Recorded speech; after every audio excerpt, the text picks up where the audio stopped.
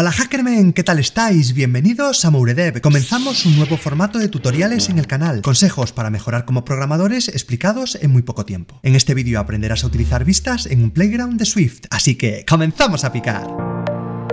Bienvenidos a Mouredev by Bryce Moure. Tutoriales de programación y desarrollo de app iOS y Android.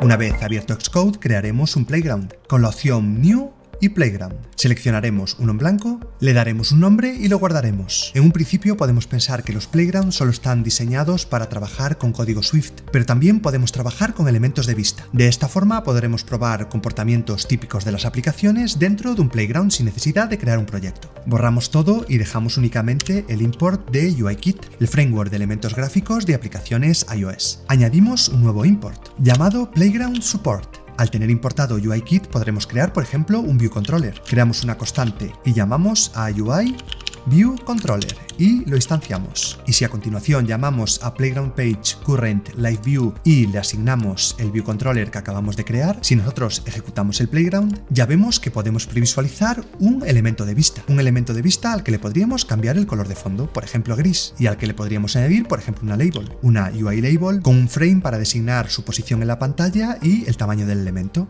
A esta label le podríamos asignar un texto. Por ejemplo, hola Hackerman.